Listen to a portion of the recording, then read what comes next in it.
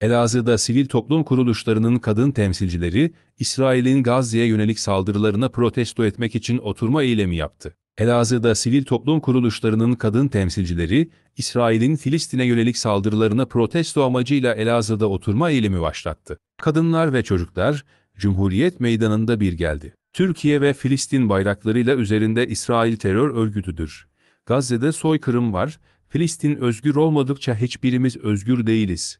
Gazze ölüyor, çocuklar ölürken susulmaz ve 21. yüzyılın hitleridir, yazan döviz ve pankartlar taşıyan kadın ve çocuklar. İsrail'e tepki gösterdi. Alanda bulunan sivil toplum kuruluşu temsilcileri adına açıklama yapan Ertay, tablo çok acı. İşgalci İsrail her 15 dakikada bir, 3 çocuk katlederek Gazze şeridinde, dünyanın gözü önünde soykırım uyguluyor. Bizler vicdan sahibi kadınlar ve anneler olarak, dünya liderlerini, uluslararası sivil toplum kuruluşlarını, Birleşmiş Milletleri, Avrupa İnsan Hakları Mahkemesi'ni, Uluslararası Ceza Mahkemesi'ni, İslam İşbirliği Teşkilatı'nı, Arap Birliği'ni, siyasi aktörleri ve kamuoyunu işgalci İsrail'in Gazze şeridine uyguladığı soykırımı durdurması için harekete geçmeye ve işgalci İsrail'e yaptırım uygulamaya davet ediyoruz. Biz, Filistin'de kadın ve çocukların yanında olduğumuzu göstermek adına şu andan itibaren akşam 17.00'a kadar bu alanda sessiz bir oturma eylemi başlattığımızı kamuoyuna duyuruyoruz.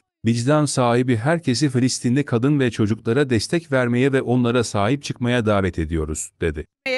ve işgalci İsrail'e yaptırımını uygulamaya davet ediyoruz. Biz Filistinli kadın ve çocukların yanında olduğumuzu göstermek adına şu andan itibaren akşam 17.00'a kadar bu alanda sessiz bir oturma eylemi başlattığımızı kamuoyuna duyuruyoruz. Vicdan sahibi herkesi Filistinli kadın ve çocuklara destek vermeye ve onlara sahip çıkmaya davet ediyoruz.